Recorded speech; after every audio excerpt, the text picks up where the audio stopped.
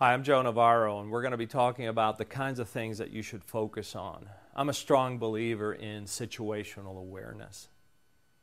You know, the limbic brain helps us to analyze the world around us, but we have to direct our attention. We have to be aware of what's in front of us, what's to the side of us, what's behind us.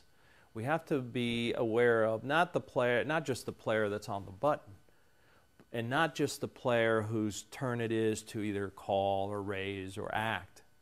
We have to be aware of everybody else at the table. Who's affected by that call? Who isn't affected? How do they react? How do they sit at the table? So I always begin by noticing where people place their hands. Record in your mind where is it that everybody has their hands? And we'll talk about hand behaviors later. But this is a good place to start because most people don't realize where they put their hands on the table. Most people don't realize how far in those hands are, how far out. They're not paying attention to their fingers. Are the fingers together? Are they intertwined? And so forth. But you, as a good observer, can begin to notice these things and build a sort of portfolio of, oh, this player, when he sits, he places his hands here.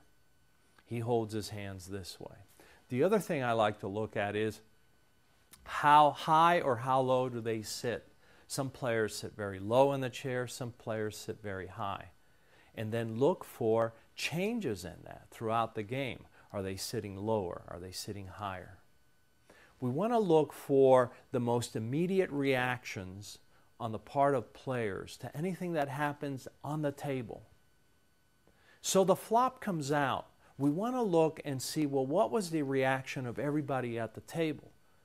Were some people elated? Were some people concerned? Were some people in a situation where they're having trouble dealing with whatever happened?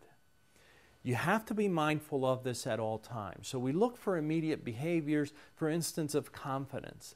We look for immediate behaviors of lack of confidence. We look for immediate behaviors of discomfort to reveal to us how that person really feels. Because we know this poker players like to bluff. And overacting, acting, bluffing, all this comes into play when you have enough time to figure out what it is that you want to do.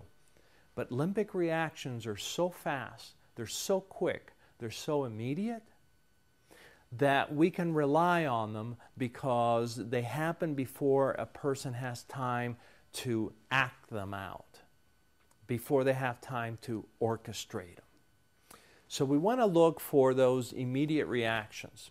We also want to look for the reactions of people to each other, the reactions of people to the cards that are dealt, and so forth. We also want to see the reactions of players to things that are heard. We want to see their reactions to things that are called out, to other activities at the table. And of course, you want to be able to control your own reactions. You know, we've talked about concealing ourselves, protecting ourselves, guarding what we reveal. And so sometimes we actually have to take a moment and say, you know, be careful here that you're, you're maybe you're marginally strong, maybe you think you're very strong, and something happens at the table, and boy, you just leak how strong you are, how confident you are. And so you have to protect for these things. And of course, you want to be aware of what people say and how they say it. Because sometimes when we are strong, our voice reflects that we're strong. When we're weak, our voices reflect that we're weak or we lack confidence. So we want to look at everything around us. We want to look at what's immediate. We want to look for what looks confident, or we want to look for things that um, appear to be less confident.